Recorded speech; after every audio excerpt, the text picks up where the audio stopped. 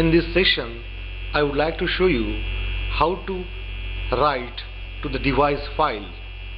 Now remember that here the device file is VDU and the stream which is linked to this device file is stdout which is automatically created by the function main. Okay? Now let us see the execution of the program. Press F7 key so now execute fprintf so that the string Rajiv Dharaskar will be sent to the VDU through the stream or file pointer std out. Press F7 and now see the output at user screen or DOS prompt. Press Alt F5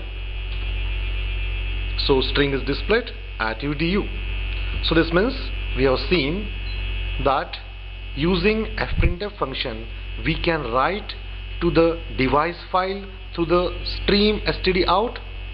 And in previous program we have seen that same function fprintf you can use to write to the disk file. Is it clear? Thank you